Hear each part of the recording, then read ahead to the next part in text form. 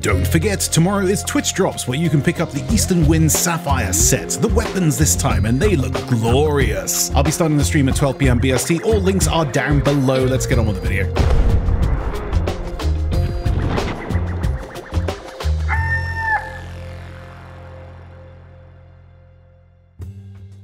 Hey, you beautiful Buccaneers, Falcore here. So one thing I've noticed in the game lately is a remarkable amount of new players. I'm sure a lot of you have noticed the same thing. Most of the time they're solo and they just want to chill out and level up, and don't want to deal with streamers like myself holding a boom keg listening to intense synthwave whilst making the whole situation more hyped than it actually is. Five gifted subscriptions, we're gonna blow this man up, it's gonna be amazing, let's go! Now I stream this game regularly, and apart from my main pirate, I've also leveled up two alts to Pirate Legend using this method. The most recent, Madame Salty, Isn't She Goddamn Beautiful, was leveled up to Pirate Legend in 11 hours and 24 minutes. So you don't need to do high tier world events in order to level up fast. So here's my how to get Pirate Legend easy and safe whilst solo experience walkthrough hassle free amazing.org forward slash UK. So to get to Pirate Legend, you need to get to level 50 in any of the three factions. One of the easiest factions to level up in is obviously Reapers, as they can take any loot, so you don't have to worry about what you're hauling. The only downside is you are permanently marked on the map for others to see your location, and with only one hand-in spot, it could potentially cause a lot of problems as a new and solo player. So we're not going to concentrate on these fellas. That's something you can work on when you're more seasoned. Hunter's Call is also an option, but unless you want to spend the next 450 hours fishing, I would not advise it. Hunter's Call is more of an organic leveling faction that slowly trickles in as you play, or something to do when you've done everything else. So we're going to concentrate on the three OG factions, Gold Hoarders,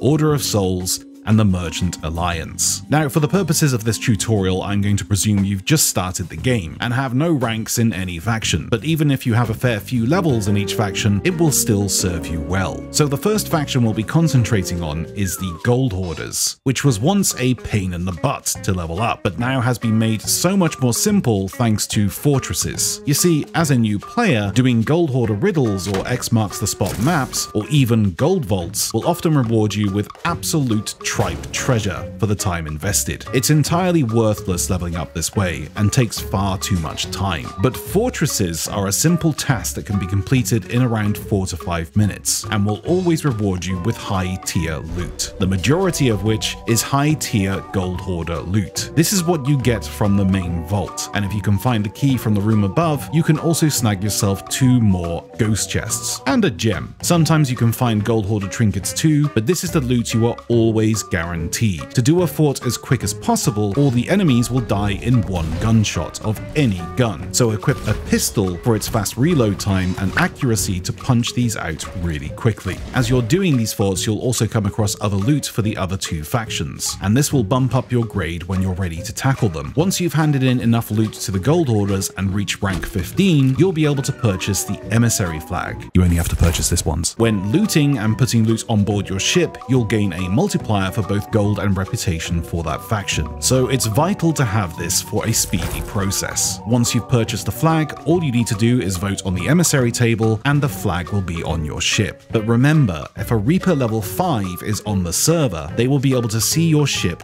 on the map. So it really is up to you, speed or safety. However, once reaching grade 5 in Gold Hoarders, you'll be able to pick up an emissary quest for the Gold Hoarders that will grant you high tier loot for each dig. So consider that. You'll notice that after 10 or 20 of these forts that your grade will be rising pretty fast, for little to no effort. Once you're level 40 in Gold Hoarders, you can consider trying out some of the other quests to change things up a little. The Gold Vaults in my opinion are the best option for this, but you'll level up just as fast running out a fortress. Once you've reached level 50 in Gold Hoarders, and possibly long before that, you should have enough money to purchase yourself a captaincy vessel. Not only is this a cool thing to have, you'll also gain access to the sovereigns to speed up your selling process. Process, ready for the next grind. The Order of Souls. By now, with the extra loot from the fortresses, you should be a good chunk into reputation with the other two factions, enough to purchase an emissary flag for each one. So grab the Order of Souls emissary flag, and then let's head over to the Devil's Roar.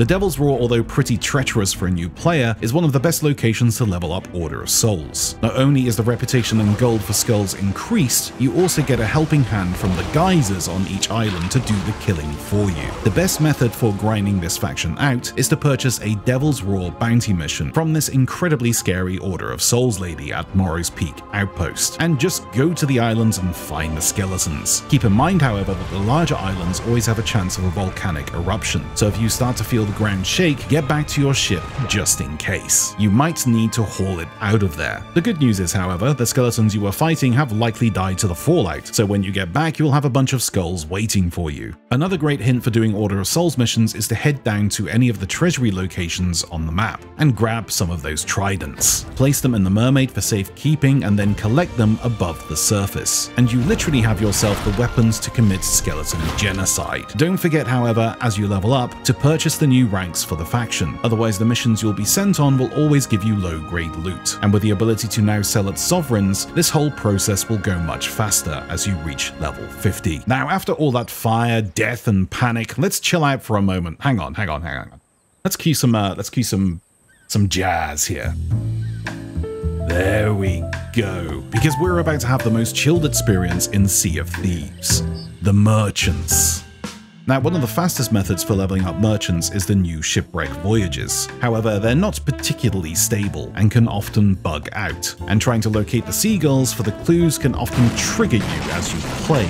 You can choose to do it this way if you wish, but nah, let's chill out. You are a merchant after all, so let's be a merchant. The most chilled out way to approach merchants is a combination of cargo runs and trade routes. Cargo runs will have you pick up cargo from an NPC and then deliver it to another NPC within the world, so pick up as many as you can of these. Trade routes have you buy commodities from merchant reps, which you can then sell for a higher price to other outposts. They have a handy little book at all the outposts telling you where to go to sell things for a higher price, but the best source of info for this is the Merfolk's Lullaby website, link in the description, that will tell you the correct routes so you can plot a good course. By mixing the trade routes with the cargo missions, you can sail around the map essentially stress-free. After all, you didn't find this loot, you were given it, so if you sink, it actually doesn't matter. Just rinse and repeat. Put on some music, heck, even watch your favorite TV show as you sail. No worries to be had at all. Just cruise yourself to level 50 after playing a few sessions, and you'll come out feeling fresh, rested, and have a keen sense of accomplishment. Now take your final walk over to the tavern as a fresh-faced sailor and become a pirate legend, so you can finally do the Legend of Veil quest and possibly get sung by this guy. Let's go! Let's go! Thank you for the 50 bits! Let's go!